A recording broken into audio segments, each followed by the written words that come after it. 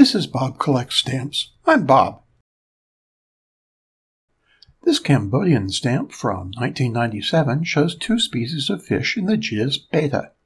There are about 75 species in the genus. Both fishes shown are male. The longer finned fish is an aquarium variety of Betta splendens, the commonly found Siamese fighting fish. The males are extremely territorial and will fight, even killing, any perceived interloper.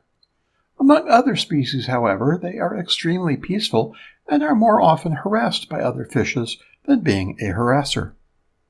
The shorter finned fish is Betta imbellis. They have the English common name of peaceful betta. They are sometimes seen in aquariums and, like the fighting fish, may be kept with other fishes. Unlike the fighting fish, though, these fish can get along with each other if not crowded.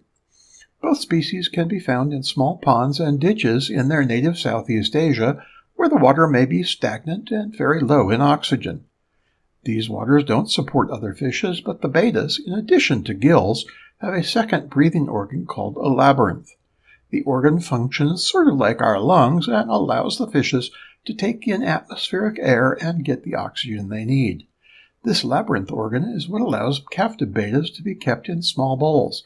Despite that, though, they do much better in a regular aquarium.